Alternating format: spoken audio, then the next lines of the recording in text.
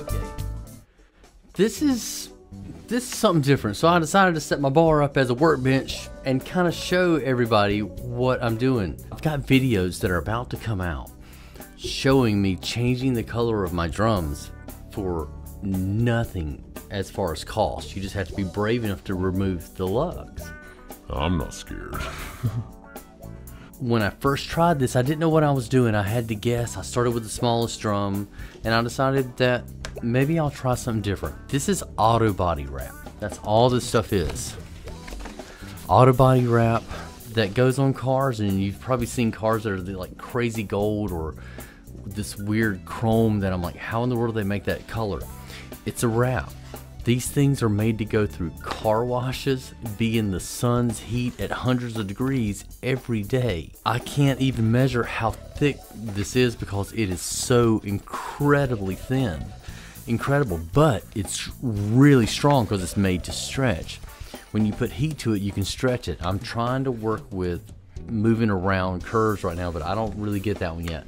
But I do understand now how to fix some problems that I had with a video that probably has already come out with this original one that I tried this on. By the time I got to the 14 inch floor tom, I had this down. And ever since then, I've been able to fix any of the issues right off the bat. But this was the first one I did, and it wrinkles really bad. You can see it if we look down here, you can kind of see where it bubbles. It bubbled, all these things are just tension on the rods when I put tension on the rods, all it it went from being pristine to all of a sudden it started pulling the material because of the pressure against the wood at that point. I kept working with it by the time I got to the 14 drum, I figured this completely out. I'll show that in a second. But I'm going to take this material off. So the big question was, once I put it on, is it okay to take it off? We're about to find out. I tried it on a Simmons kit that I or a no, I tried it on a DW 16 inch kick drum that I have just to see. It was a weird purple color. It was not the right color. I got sent the wrong stuff, so I tried it on a DW kick drum. I'm sure the hate is gonna happen when that video comes out. But I just tried it, and then soon it was on. I filmed that whole thing, and then I filmed me taking it off, and what happens. So this is what we're about to find out. And what to what to do about these crazy wrinkles. Because once they're in there on this I can't fix it. I've tried I've cut them in different ways trying to make it but it doesn't work. But I've got a way to do it if I do it at the beginning which is great. So that's what we're about to do. We're about to take this drum back apart and redo my first one of these because the rest of these look absolutely fantastic here I'll show you this is one I did yesterday it's got a ton of tension on it, but there are no wrinkles, none. Because I figured out if I put a release or a relief right under where the tension rod is, one straight cut of the material, it takes away that pressure. And if it ever lets go, you just lay your finger in here and it resets it. So not too bad. The seam, you can see what the seam is going to look like, it's kind of that. Not too bad. I've got it overlapping about a half inch. We'll see how this goes and while we're replacing a drum. Hey, hey. Before I was doing videos, I was going around the drum and doing this, but the tension had no place to go. I wasn't able to fix this because everything was already put together. So the scratches that it gets, this is as hard as scratches as I've seen. This is stands and stands, stands hitting this. So it's actually not too bad. I haven't really tried to clean it, so I don't really know. But, bucks. there we go. Here we go. Let's do it.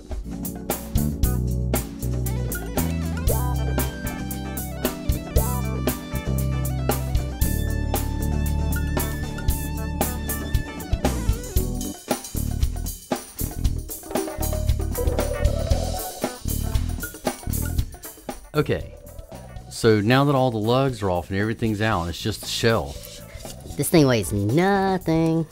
Absolutely nothing. So here's a look. If you can see what's going on with this, and you can kind of see where it was pulling on these. It was pulling right under where it needed to pull and that's why it was doing this. I couldn't fix these because of the way this drum was built. I wish it was a single one, but I'm not sure that would have been better or not because the weight of the lugs all together seem to add to this the sound of the shell. Killing the resonance doesn't seem to do it, it's adding weight. And then it makes the resonance work. I, I don't know if that's, I don't know, it's just the way it seems to sound to my ears. Let's take it apart.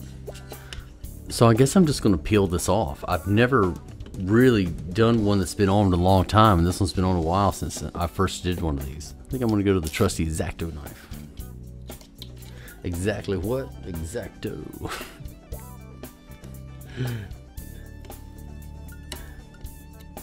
I guess this is a pilot episode of Chad's Workbench. the Double Deuce Workbench. There we go. Okay.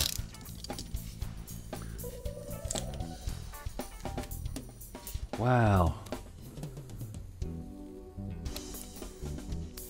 Here we go. We'll go to this one because I cut some of these, so it's not going to come off easy. If, it's like there's tinfoil underneath this to give it that metallic undercolor, but it's still the matte finish, so it doesn't glare in the lights. Hey, drum companies. Here we go.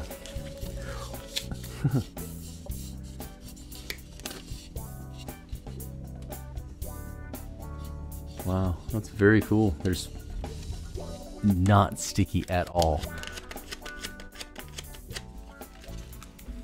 Alright, here we go. Let's take it off. I'm to kind of roll this because I'll never be able to do it without tearing it. So we're to roll it off.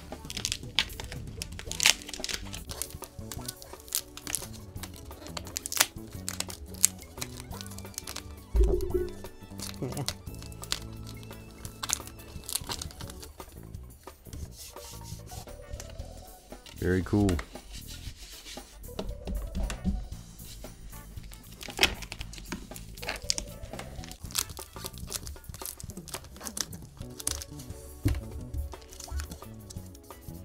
It's a very fun color. Here's a side story. My first drum set cost me a hundred bucks that I found in the local paper. Found a drum set and I wanted to play because I had already kind of been playing and I had only had a snare drum that was my sister's and an old tambourine that was my mom's from the 60s and a pair of her old Ludwig drumsticks that came in that UFO case. That was all I had for drums and I was going to practice trying to play. They were giving me Minneapolis Funk and they were giving me Duran Duran. I heard drums as Journey. So I got my first drum set. It's this terrible brown color. I'll try to find it and throw it up. My dad knew that I was really loving to play, and he was big into trying to make things better for me. So we took that crazy drum set, refinished it with a lacquer one weekend. And all of a sudden my drums were this very cool white and I was so impressed and I was so happy they were white because all I wanted was white pearl drums when I was a kid because of Mike Baird. Mike, if you ever see this, man, you're nuts, but I love the way you play. No sticky at all. Nothing on my hands as I'm rubbing into this stuff. This is different. You could change, as long as you're not afraid to unscrew your hardware and just take your time so you don't strip out any of that stuff. It's hard to fix if you strip it out. But you can change the color of your kits. And I'm about to, the way this is going, and it's going to go back on. I know what it looks like when it's finished now. And I won't have these issues, so I won't be have to always touch this up before a video to make it kind of look okay for, you know, 10 minutes while I'm recording.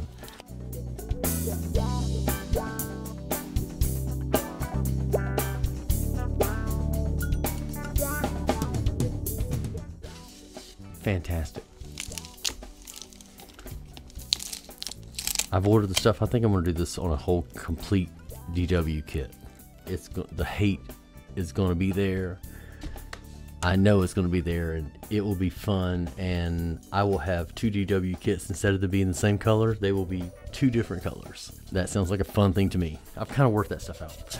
But that right here not sticky at all. Like I can run a microfiber over this. No sticky. Nothing. Oh well let's suit up. Let's put some uh, sticky stuff on. Okay, here we go. I just found out that I don't have enough of this to do this in one piece, so I'm having to separate this into two pieces. So I'm going to have two seams, That sucks. but I'm going to have to figure this out and try to figure out the best way to make the seams hide. So I'm going to hide this under where the lugs are going to go. That's really it. I've got this piece cut down and sized a little under the rim, so I don't have a problem with it touching the head. Stretch it around the drum. If you to do the circumference of your drum to know the actual real one, if I had enough material, it's pi 3.14 times the diameter of your drum, so 10 times 3.14. So that's kind of what this is.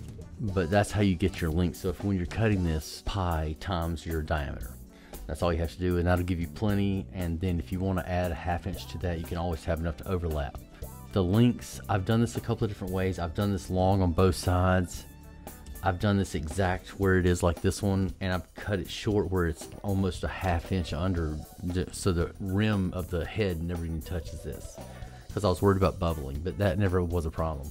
This one I'm going to leave where it's just a, an eighth inch reveal on both sides and try to make it all the way around the drum without it getting out of line. And that's hard. This is what was really hard. It does stretch, so if you lightly heat it with a, a heat gun, you can kind of turn the material and it'll stretch and the bubbles will come out. The bubbles come out with this crazy thing right here.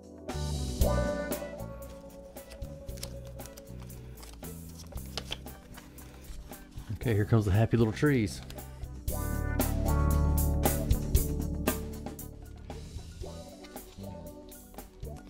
It's away. Alright, so we know where we are. That should be lining up. Now the air bubbles come out. The squeegee they send you with this stuff just takes everything right out. and this is fast. If you've ever covered a drum, I'm sitting here looking at my first kit I ever covered. The material cost when I did that was probably, I think I paid like 400 bucks to buy all the material to cover that because that's a lot of material for a sparkle finish at the time, which was an upcharge. I understand it's a complicated finish. if you cut one apart, you kind of see why. That took me hours and hours, and I did it again on a different kit, and same thing. It was just so long between drying but for all the different contact cement because you got to buy the right one or it burns that material. This was a fluke, just to be goofy, and it's become a, and it's become something that's very cool.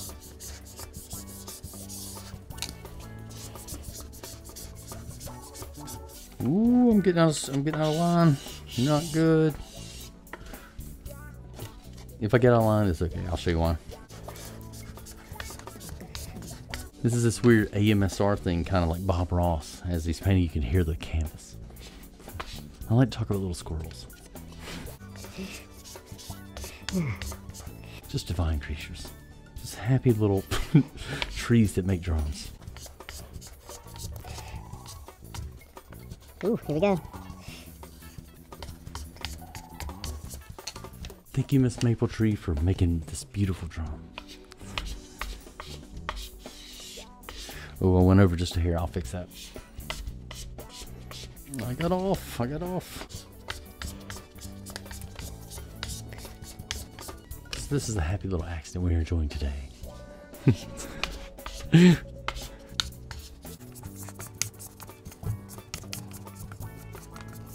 Here we go. Count it again.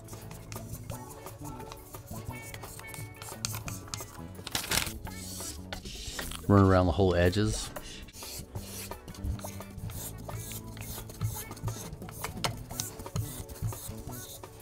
There we go. Now we just have a patch. There we go. Patch. Stuff's so easy to cut. But it's at the same time it's hard to get in there and get it started. I think that's why it doesn't tear very much. And it's hard to tear. Grabbing it by your hands, you won't really tear this unless you can kind of get you know into it.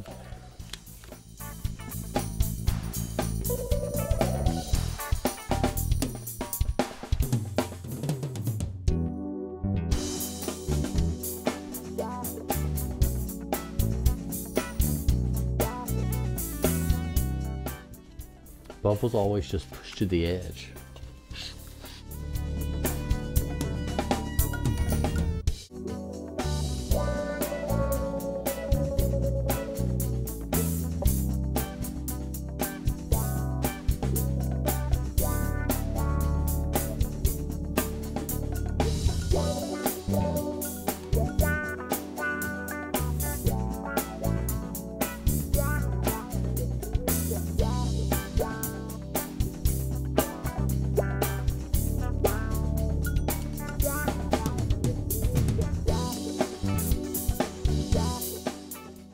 Now trimmed up.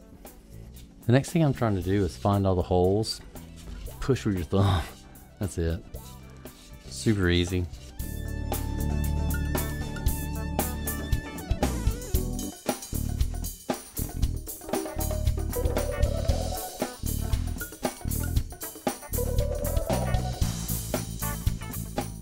Gotta make sure the edges are good.